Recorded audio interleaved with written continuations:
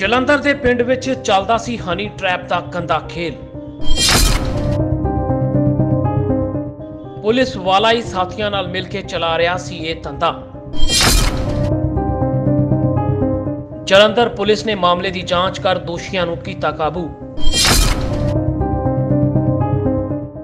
Jalandhar commissionerate police ਨੇ ਇੱਕ ਕਿਸਾਨ ਨੂੰ ਹਨੀ ਟ੍ਰੈਪ ਵਿੱਚ ਫਸਾ, ਉਸ ਨੂੰ ਬਲੈਕਮੇਲ ਕਰਨ ਦੇ ਮਾਮਲੇ ਦੇ ਵਿੱਚ ਆਪਣੇ ਹੀ ਦੋ ਮੁਲਾਜ਼ਮਾਂ ਸਣੇ ਪੰਜ ਲੋਕਾਂ ਤੇ ਮਾਮਲਾ ਦਰਜ ਕੀਤਾ ਅਤੇ ਇੱਕ ਮੁਲਾਜ਼ਮ, ਦੋ ਮਹਿਲਾ ਆਰੋਪੀਆਂ ਸਣੇ ਇੱਕ ਹੋਰ ਵਿਅਕਤੀ ਨੂੰ ਵੀ ਗ੍ਰਿਫਤਾਰ ਕੀਤਾ ਜਲੰਧਰ ਦੇ ਨਕੋਦਰ ਇਲਾਕੇ ਦੇ ਪਿੰਡ ਖੀਵਾ ਦੀ ਇੱਕ ਕਿਸਾਨ ਹਰਜਿੰਦਰ ਸਿੰਘ ਨੇ ਪੁਲਿਸ ਨੂੰ ਦਿੱਤੀ ਆਪਣੀ ਸ਼ਿਕਾਇਤ ਵਿੱਚ ਕਿਹਾ ਸੀ ਕਿ ਉਹ ਇੱਕ ਦਿਨ ਨਕੋਦਰ ਤੋਂ ਜਲੰਧਰ ਆਇਆ ਹੋਇਆ ਸੀ। ਇਸ ਦੌਰਾਨ ਇੱਕ ਮਹਿਲਾ ਨੇ ਉਸ ਨੂੰ ਫੋਨ ਕਰਕੇ ਆਪਣੀ ਮਾਂ ਦੀ ਗੰਭੀਰ ਬਿਮਾਰੀ ਬਾਰੇ ਦੱਸਦੇ ਹੋਏ ਕੁਝ ਮਦਦ ਮੰਗੀ। ਜਿਸ ਤੋਂ ਬਾਅਦ ਸ਼ੁਰੂਆਤ ਹੋਈ ਹਨੀ ਟ੍ਰੈਪ ਦੀ। ਕਿਸਾਨ ਹਰਜਿੰਦਰ ਸਿੰਘ ਨੇ ਮਹਿਲਾ ਨੂੰ ਕਿਹਾ ਕਿ ਉਹ ਵਾਪਸੀ ਤੇ ਉਸ ਦੀ ਮਦਦ ਕਰਕੇ ਜਾਵੇਗਾ ਤੇ ਜਦੋਂ ਵਾਪਸੀ ਤੇ ਉਹ ਕਿਸਾਨ ਆਇਆ, ਤਾਂ ਉਸ ਵੇਲੇ ਉਹਨਾਂ ਦੇ ਹਨੀ ਟ੍ਰੈਪ ਦੇ ਵਿੱਚ ਫਸ ਚੁੱਕਾ ਸੀ। ਪਰ ਸ਼ੱਕ ਪੈਣ ਤੇ ਉਸਨੇ ਇਸ ਦੀ ਸ਼ਿਕਾਇਤ ਪੁਲਿਸ ਨੂੰ ਕਰ ਦਿੱਤੀ। ਜਲੰਧਰ ਪੁਲਿਸ ਨੇ ਮਾਮਲੇ ਦੀ ਗੰਭੀਰਤਾ ਨੂੰ ਸਮਝਦੇ ਹੋਏ ਵਾਰਨ ਇਸ ਤੇ ਕਾਰਵਾਈ ਕਰਦੇ ਹੋਏ ਚੰਡਿਆਲਾ ਪੁਲਿਸ ਚੌਂਕੀ ਦੇ ਏਐਸਆਈ ਕਸ਼ਮੀਰ ਲਾਲ ਅਤੇ ਉਸ ਦੇ ਇੱਕ ਸਾਥੀ ਰਵੀ ਨਾਹਰ ਅਤੇ ਪ੍ਰਭਜੋਤ ਕੌਰ ਦੇ ਨਾਲ ਉਸ ਦੀ ਸਾਥਣ ਗੁਰਵਿੰਦਰ ਕੌਰ ਨੂੰ ਗ੍ਰਿਫਤਾਰ ਕਰ ਲਿਆ, ਜਦਕਿ ਦੂਸਰਾ ਆਰੋਪੀ ਪੁਲਿਸ ਮੁਲਾਜ਼ਮ ਪਰਮਜੀਤ ਸਿੰਘ ਅਜੇ ਪੁਲਿਸ ਦੀ ਗ੍ਰਿਫਤ ਤੋਂ ਬਾਹਰ ਹੈ।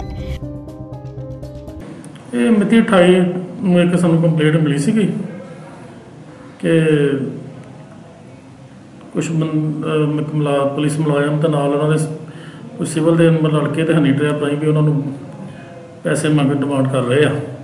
ਤੇ ਉਹਨਾਂ ਕੋਲ ਕੋਈ ਚੈੱਕ ਲੈ ਰਹੇ ਆ ਸਾਈਨ ਕਰਾ ਕੇ। ਜਦੋਂ ਇਹਦੀ ਪੜਤਾਲ ਕੀਤੀ ਗਈ ਤੇ ਇਲਜ਼ਾਮ ਸਹੀ ਪਾ ਕੇ ਇਹਦੇ ਤੇ ਐਫਆਈਆਰ ਦਰਜ ਕੀਤੀ ਗਈ ਆ। ਤੇ ਜਿਹੜੇ ਇਹਦੇ ਵਿੱਚ ਚਾਰ ਦੋਸ਼ੀ ਤੱਕ ਗ੍ਰਿਫਤਾਰ ਹੋ ਚੁੱਕੇ ਆ ਤੇ ਇੱਕ ਦੋਸ਼ੀ ਭਗੌੜਾ ਚੱਲ ਰਿਹਾ। ਤੇ ਤਫਤੀਸ਼ ਇਹਦੀ ਚੱਲ ਰਹੀ ਹੈ। ਕੌਣ ਕੌਣ ਹੈ ਦੋਸ਼ੀ ਇਹਦੇ ਵਿੱਚ? ਇਹ 'ਚ ਦੋ ਪੁਲਿਸ ਮੁਲਾਜ਼ਮ ਹੈ ਜੀ। ਤੇ ਤਿੰਨ ਜਿਹੜੇ ਆ ਸਿਵਲ ਦੇ ਆ। ਤੇ ਜਿਹੜੇ ਮੁਲਾਜ਼ਮ ਹੈ ਉਹ ਫੜੇ ਗਏ ਕਿ ਇੱਕ ਮੁਲਾਜ਼ਮ ਅਜੇ ਤੱਕ ਮਫਰੂਰ ਆ ਤੇ ਇੱਕ ਦੀ ਅਰੈਸਟ ਪੈ ਚੁੱਕੀ ਹੈ ਸਰ ਕਿਸ ਚੀਜ਼ ਦੇ ਇਹ ਪੈਸੇ ਮੰਗੇ ਗਏ ਸੀਗੇ? ਉਹ ਉਹਦਾ ਕਹਿ ਰਿਹਾ ਸੀ ਵੀ ਕੋਈ ਉਹ ਕਹਿ ਰਹੇ ਸੀ ਵੀ ਛੇੜਖਾਨੀ ਕੀਤੀ ਆ ਤੇ ਜੇ ਤੁਸੀਂ ਅਹ, ਇਹਨਾਂ ਦਾ ਵੀ ਸੁਲਾਹ ਸੁਲਾਹੀ ਕਰ ਲਓ ਤੇ ਇਹਦੇ ਉਹਦੇ ਵੀ ਉਹਦੇ ਇਹਦੇ ਵਿੱਚ ਇਹ ਕਿ ਉਹਨੂੰ ਕਹਿ ਰਹੇ ਸੀ ਵੀ ਨਹੀਂ ਵੀ ਅਸੀਂ ਤੇਰੇ ਤੇ ਪ- ਕਾਰਵਾਈ ਕਰਾਂਗੇ। ਉਹਦੇ ਉਹਦੇ ਵਰਸ਼ਨ ਮੁਤਾਬਕ ਇਹ ਸੀਗਾ।